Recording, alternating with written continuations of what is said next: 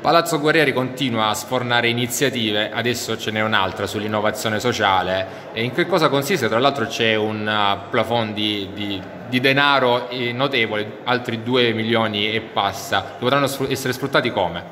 Sì, oggi eravamo qui a Palazzo Guerrieri per questo primo incontro di presentazione del progetto Case di Quartiere che attraverso una misura regionale ha portato appunto un finanziamento eh, per la realizzazione di luoghi appunto nei, nei, quartieri della città che possono diventare dei punti di riferimento per rispondere ai bisogni dei, dei cittadini e per convogliare anche tutte le energie, le iniziative, i progetti di associazioni, gruppi di cittadini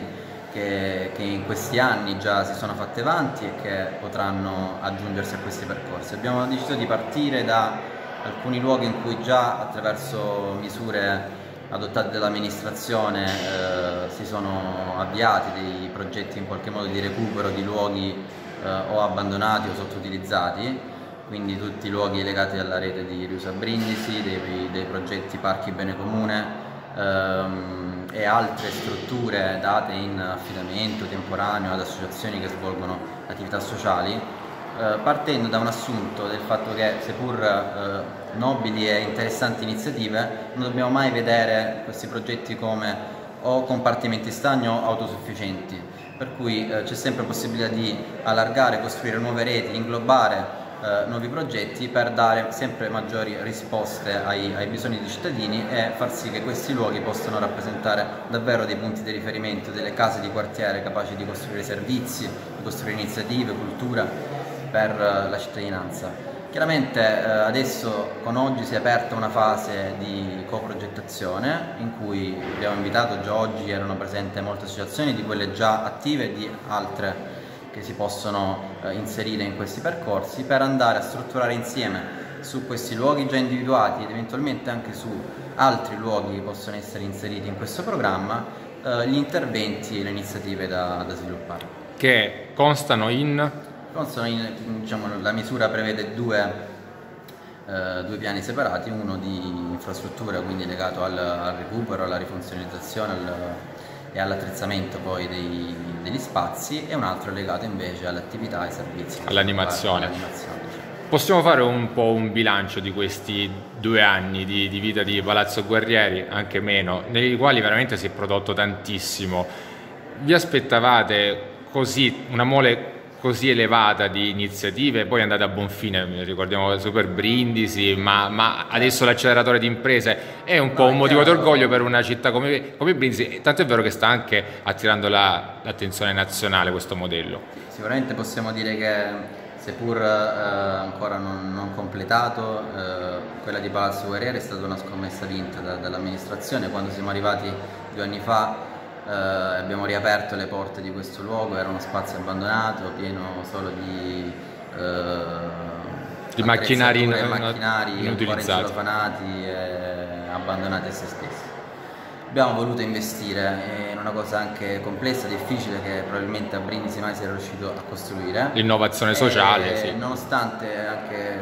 momenti di difficoltà, soprattutto all'inizio, abbiamo poi visto quanto invece quando si costruiscono, si danno le opportunità ai giovani cittadini della città, poi la città risponde. E una risposta sono i 20 progetti che sono stati incubati nel programma di Palazzo Guerriero, una risposta è il fatto che oggi Palazzo Guerriero sta diventando un punto di riferimento anche capace di attrarre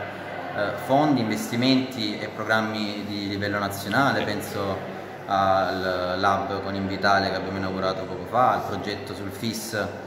eh, sul, sulla dispersione scolastica che verrà presentato la settimana prossima, a quest'altro progetto che può rappresentare un po' eh, la fase 2 anche del percorso di Palazzo Guerrieri eh, che si affaccia anche diciamo,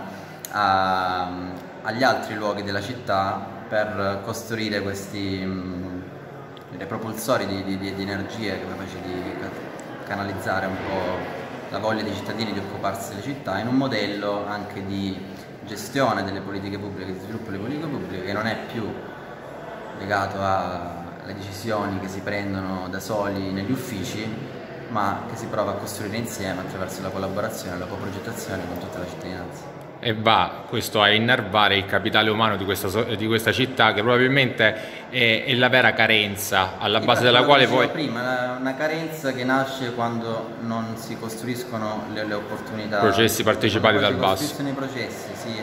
mette eh, la gente nelle condizioni di poter realizzare il proprio progetto, poi le energie eh, si scopre che invece probabilmente esistevano, erano Ma soprattutto soffuse.